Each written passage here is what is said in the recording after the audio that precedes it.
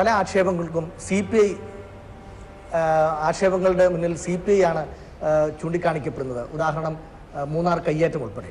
എവിടെയാണ് പാർട്ടിക്കാണോ പിശക് പറ്റുന്ന നേതാക്കൾക്കാണ് വേറെ അർത്ഥമല്ല. ഞങ്ങളവിടെ ഒരു ഒരു കാര്യം ചെയ്തിട്ടില്ല.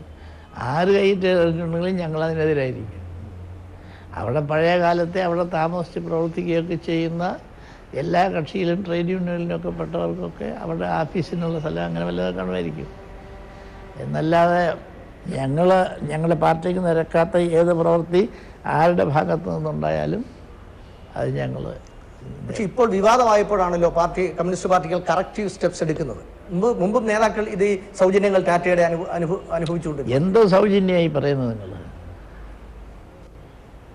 ഒരു സൗജന്യം അനുഭവിച്ചാൽ ഞങ്ങൾക്കറിയത്തില്ല. അവരവിടെ അവരുടെ മാത്രം ആ സ്ഥലം.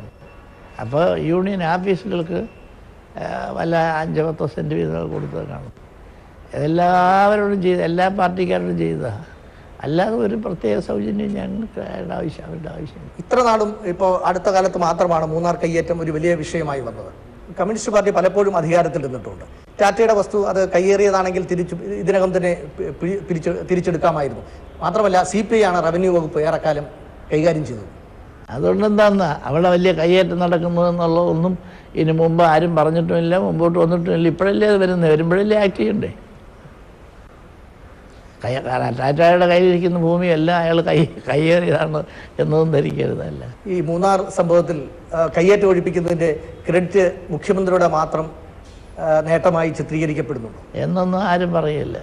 ഞങ്ങളും അവരും എല്ലാവരും കൂടി യോജിച്ചല്ലേ ചെയ്യുന്നത് ഞങ്ങൾക്ക് എല്ലാവരും കൂടെ ഒരുമിച്ച് യോജിച്ച് ചെയ്യുന്നത് ഞങ്ങളുടെ എല്ലാവരുടെയും കൂടെ മെച്ച നേട്ടമാണ്. പക്ഷേ മൂന്നാർ ഓപ്പറേഷൻ ആദ്യത്തെ ദൗത്യ സംഘത്തിന്റെ പ്രവർത്തനം വേണ്ടത്ര തരത്തിൽ പിന്നീട് തുടർന്ന് പ്രവർത്തിക്കാൻ കഴിഞ്ഞില്ല എന്ന് വി എസ് തന്നെ പറയുന്നുണ്ട്. അതെനിക്കറിയത്തില്ല. വി എസിന്റെ ആരെ ഒരാളെ അവിടെ അയച്ചു എന്ന് വെച്ചാൽ അയാൾ തന്നെ പ്രവർത്തിച്ചോളണമെന്നുണ്ട് അതിനൊരു ടീമൊക്കെ വേണ്ടേ അവിടെ? അക്കാര്യത്തിൽ കെ പി രാജേന്ദ്രൻ പ്രത്യേകിച്ച് സി പി ഐയുടെ റവന്യൂ മന്ത്രി ശ്രീ കെ പി രാജേന്ദ്രനെ സൈഡ്ലൈൻ ചെയ്തു എന്ന് തോന്നുന്നു ഏ വെറുതെ പറയുന്നില്ല. ഇപ്പോൾ അവരയച്ചിരിക്കുന്നൊക്കെ രാജേന്ദ്രനല്ലേ അവർ ക്യാബിനറ്റിലെ വിഷയങ്ങളാണ് കൊണ്ടുവരുന്നത് ക്യാബിനറ്റ് ഇതിൽ പല വിഷയങ്ങളും തീരുമാനിക്കുന്നത്. പിന്നെ ആ മന്ത്രിയും തീരുമാനിക്കേണ്ടി വരും. അതിനൊക്കെ എന്ത് ഇത്ര തർക്കം? ഞങ്ങൾ തമ്മിൽ ഒരു തർക്കം ഉണ്ടായിട്ടില്ല. അച്യുതാനന്ദന് വേണ്ടി ഒരു തർക്കം ഉണ്ടായിട്ടില്ല.